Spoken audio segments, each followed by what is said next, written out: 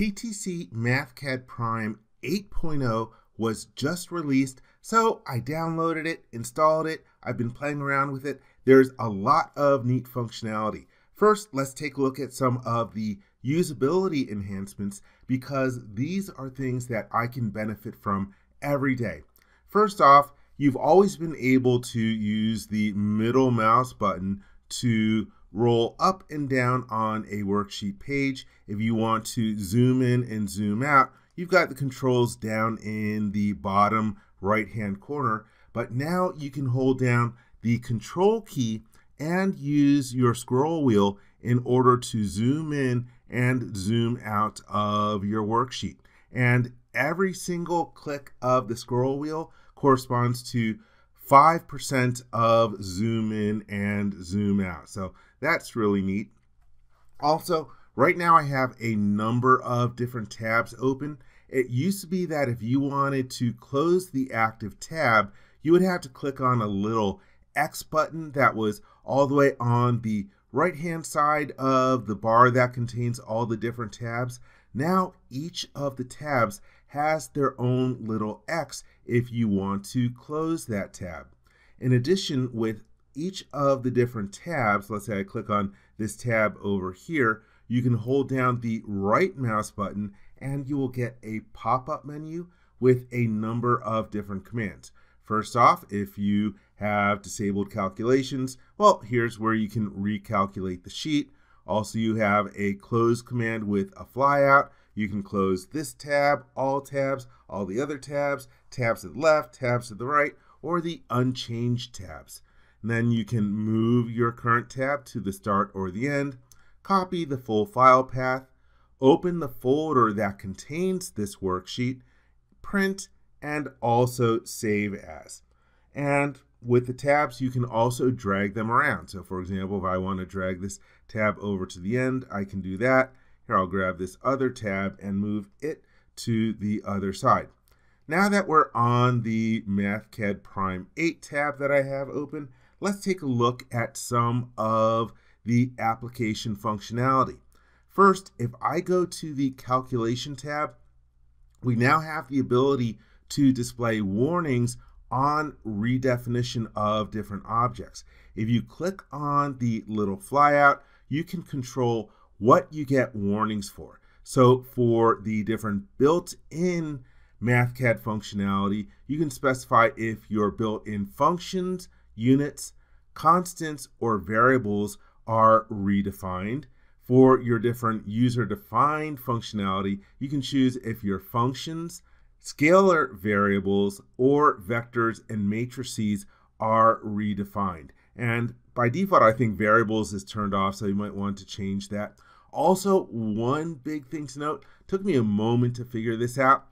This is actually not just a drop down. This is a button that enables the warning functionality. So you have to click it if you want to get those redefinition warnings. For example, here I have one of the built-in variables for C. Let's say I try to redefine it. Well, if I type in C and then the definition operator and make this equal to a number and then move over, this is going to be fine because the original C is a constant, but this is a variable. Let's say that I go over to the Math tab. I can click next to that variable and I can change its label from a variable to a constant. And then when I click outside, you'll notice that we get this little green box around the C indicating that we have redefined our constant. Now let's say that I take that same one and I'm going to make this equal to pi. Let me use control G to change that to the number. And then I'm going to make this variable C equal to 2 times, and I'll choose one of the other built-in variables h and then move it over. You'll notice now that we have this as a variable, we're getting this little green box as the warning upon redefinition. And if you actually click on it, here it tells us, hey, this expression redefines a previously defined variable. So now you have those different warnings. If you don't want to see those warnings, just go to the calculation tab, turn off the redefinition warnings, and you no longer have those little green boxes around your different variables or functions.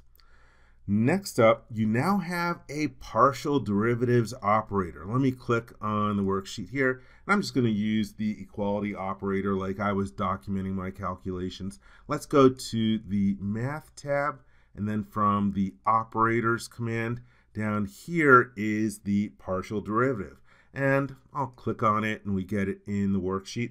And I'm going to do the partial derivative with respect to little t, time, of big T, I'm doing the heat equation, and this I'm going to make equal to using control equals. This is going to be equal to the constant C times, and if I want to use that partial derivative operator, the keyboard shortcut is control D. Let me just show that to you. If you go to the operators, here if I hover over it, you can see that we can use the control D shortcut. Let me go down over here and then control D. So I get the partial derivative. And this is going to be with respect to x. And I want to have the second partial derivative. And so you can go all the way up to the fifth partial derivative, but in this case I'm going to use 2. You'll notice that I get 2 up at the top as well. And then let's put in our big T for temperature up there. And so that way we're using the partial derivatives in the heat conduction equation. The next one I'm not going to show you because I am not the biggest expert on symbolic evaluation, but there's a lot of different functionality that was expanded for the stuff that you have in here. You have a few different modifiers. So for example, there are now modifiers for n fact and o fact, and those are used in conjunction with Fourier transforms. But again, a lot of functionality was done in here. I can't explain it to you. And let's see, oh, another thing, if I go to the constants over here, like I was using earlier, a bunch of these constants have been updated with the latest NIST definitions. Hey, who knew that a bunch of these different physical constants were actually updated? Well, they were updated by these different governing authorities, so the values have been updated inside of MathCAD Prime.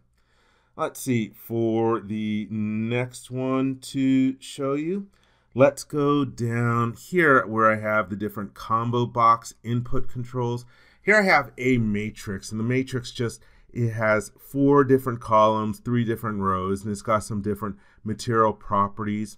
Back in MathCAD Prime 7.0, the combo box control was added to allow you to change the selection of certain inputs and that would update different variables. Let me show you again how that is used.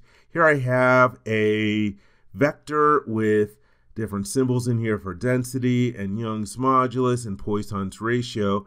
I'm going to position my mouse. Let me get it in here. Try to get it to the right hand side. I'm just using the right arrow just so that now that I'm on the right hand side of the vector, I can use the definition operator, the control equals, and this is going to be equal to the combo box. And in the combo box, I can start typing in different things in here. So for example, this is going to be for material, and then I can put in my first value here for steel. And you always had the ability, or when it was introduced in MathCAD Prime 7, you had the ability to copy and paste from a matrix into the combo box, but you could do that for single values. Now you can copy and paste for multiple values. So before I start filling in anything over here, let me go up to this one. You'll notice I'm getting the red box indicating that I have a warning, but I'm going to highlight a bunch of the different elements of this matrix. Let me go to the math tab and copy those. Now I'll go back to my combo box input control, right click on it and choose edit. And let's position right down here now I can paste those values in using the paste icon or the keyboard shortcut. You can also right click down here and choose paste and now pasted those values in there. I'm still getting errors because I don't have the necessary labels. Let's put aluminum. And then for the one down there, this is going to be titanium. And so now, when I click over here, the material selected is titanium. Let's evaluate the density rho R control G. This is going to be equal to 4.5. If I change the combo box to steel, rho changes to 7.8. If I change to aluminum, rho changes to 2.7. So now you can do that copy and paste of multiple elements from a matrix into your combo box. Let me go over to a, another worksheet. And in this worksheet here, let's say that you want to put a frame around different elements of the worksheet or actually different parts of the worksheet. If I am clicked, let me click right in the main body, I can go to the Documents tab, and here we have a new option to show a frame. And now it puts a frame around my main body where I have my different calculations. And this frame will also print out if you were to print your worksheet. So it's a nice way to put, you know, a little little graphical control around your calculations. Let me go to my header and similarly with the header and the footer, you can show a frame around that portion as well. Let me turn off the header. And so that way you have your different frames on here. Hey, if you don't want to have the frame in the main body, let's turn off the option to show the frame. But I think I like that. I think I'm going to end up using this a lot, especially in my reports. I like the way that it looks.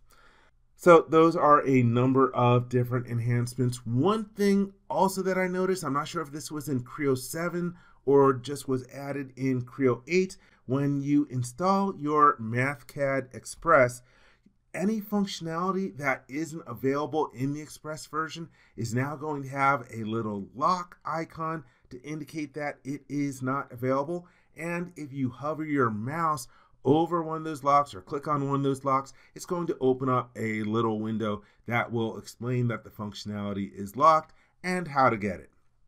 So there you have it, a bunch of great new enhancements in MathCAD Prime 8.0. Download it and try it today.